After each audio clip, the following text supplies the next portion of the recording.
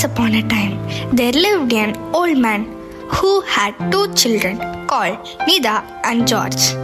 Nida is so active, humble, and responsible.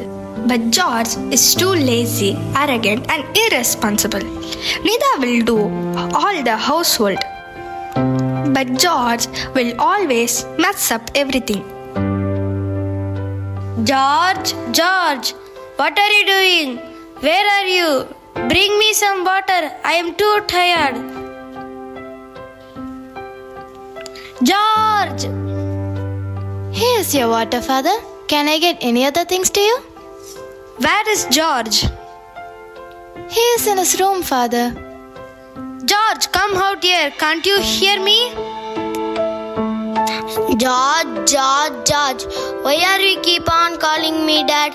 I am doing some work here. Don't talk like that to our father, brother. You don't teach me a lesson. We have to obey our father and the elders. Don't you know that, brother? Huh. Look here and listen to me, dears. You know very well about my situation. I become too old and feeble to work and earn money. I don't know how I'm going to support our family. I have an idea. Pa, don't worry. I'll find a wealthy house to do some works and earn some money. How can you go, my child? What do you know about this land and people? Don't worry, Dad. Your daughter is as brave as you are. Ha ha ha. Why can't you take your brother with you to your help? No, I can't. Why should I go? I don't know any works. The people are too dangerous. But my dear brother, it's all depends on how we are treating others. You don't advise me. Let me see what you can do. Take care, honey. Be safe. So the girl packed her things and took off.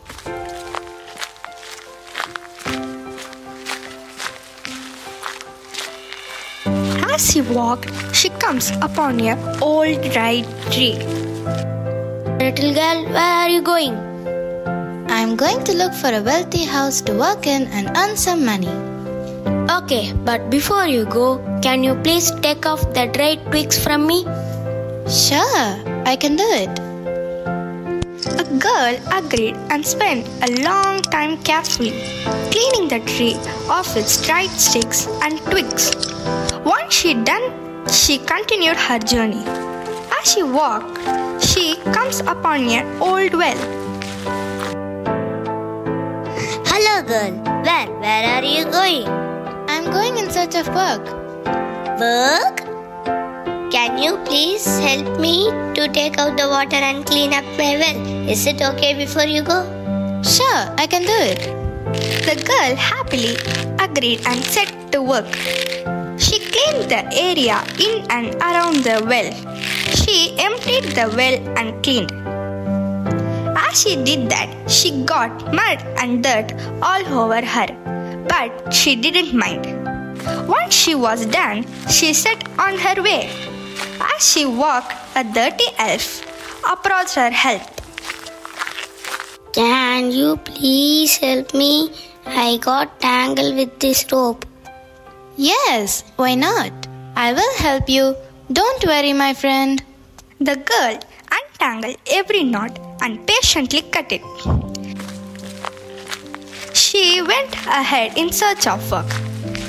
As she walked, she came upon a beautiful house which belongs to the richest man in the village. Hello, young girl. Why are you knocking at my door? How can I help you? I need a place to stay for the night. Can I please stay here? I will leave in the morning. Where are you going? I'm going in search of work. If you want to work, you can work for a day. You can keep our house clean. It has seven rooms. You will have to clean six of them. But you must never enter the seventh one.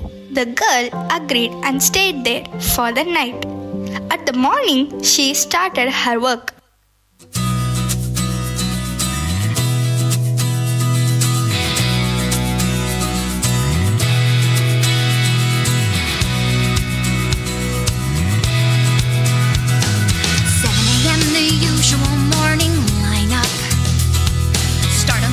Then sweep till the floor's all clean.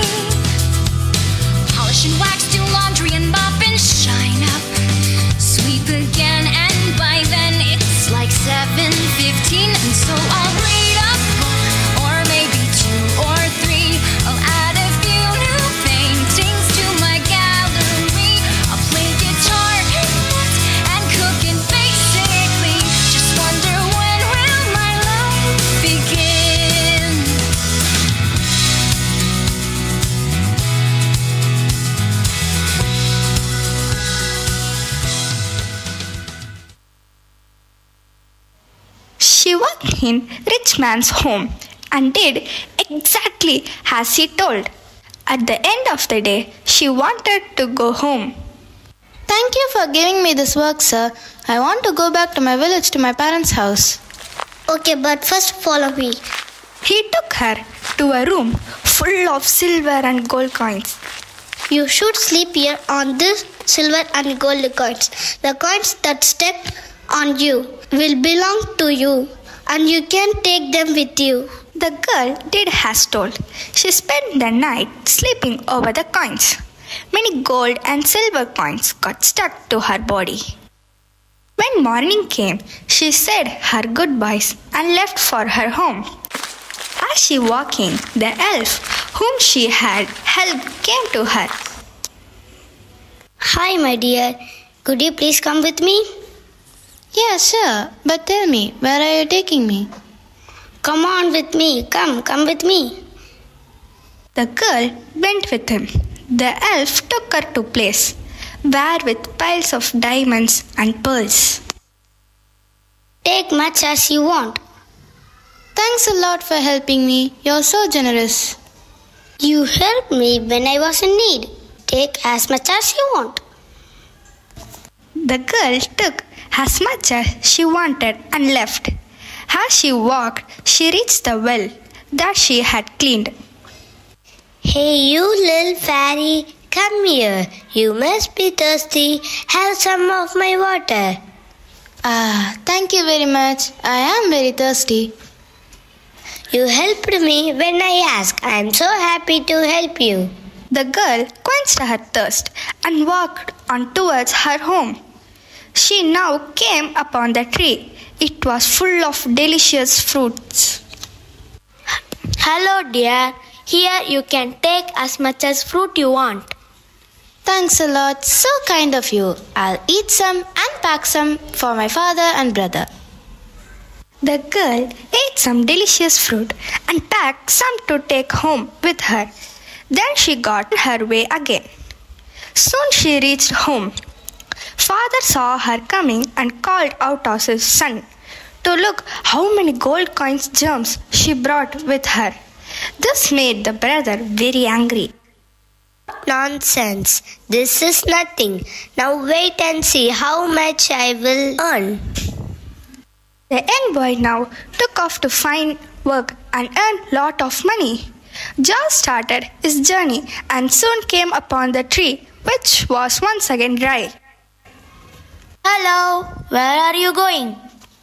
I am going to look for a wealthy house to work in and earn some money. Okay, but before you go, can you please take off the dry twigs from me? No, I don't want to spoil my soft hands picking the dry sticks off you. George refused to help and move on. He approached the well. I need a help. Can you please clean me? I have to go and find work. Cleaning you will tire me, and I don't want to get tired. I don't want to dirty in the mud. I cannot help you. George hurried away from the well. As he did so, the little tangle elf approached him. I got tangled on this rope. Can you please give me hand and untangle me, please? Ha! No, if I touch you, I will become dirty. Look at those dirty clothes you have worn. And so George ignored the elf plea and went on his way. After some time, he came upon the rich man's home. and he went in without knocking the door. I need a place to stay for the night. Can I stay here? Hello, young man. Tell me, who are you first? Why don't you knock the door before you enter my house? Where you going? I am going in search of work. It has seven rooms. You will have to clean six of them, but you must never enter the seventh one. George agreed and started working. After few hours, he did as told, but he decided to sneak into the seventh room.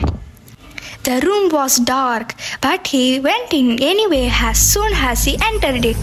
The door closed behind him, and bugs and insects of variety attacked and bit him everywhere. George took to the road, running his head, dirty hands, legs, and face bleeding and bruised. He came upon the little elf and asked for help. Please help me, please help me. You never help me. Why should I help you now? Go, go away, go. The elf shouted at him and chased him away. He ran till he reached the old well. He was thirsty with all the running. He quickly tried to reach in a cup of water, but the owner of the well took away the pail. When I ask you for help, you refused. I can't help you. Now go away. Go. George continued his journey. He was very thirsty, hungry, and tired. He reached the tree hoping he will get some fruit. He reached but out, but the tree did not let him touch anything. Hold it. You didn't want to spoil your hands when I needed your help. You cannot have my fruits. Now go away. George walked to his home. As he approached the home, Father and Nida saw him coming home, covered in blood and dirt. What happened, my little boy? What happened to you? Oh my god! Tell us now, what happened to you? Why are you bleeding? Tell us now, tell us. I am sorry. I am so sorry for being lazy. I am sorry, Pa. I am so sorry, sister. Hereafter, I help you in all works. I learned a great lesson now. How important it to help others. Not only George, hope we to learn the goodness of helping others. The purpose of human life is to serve and show compassion and the will to help others. Helping other is helping yourself. Thank you for watching.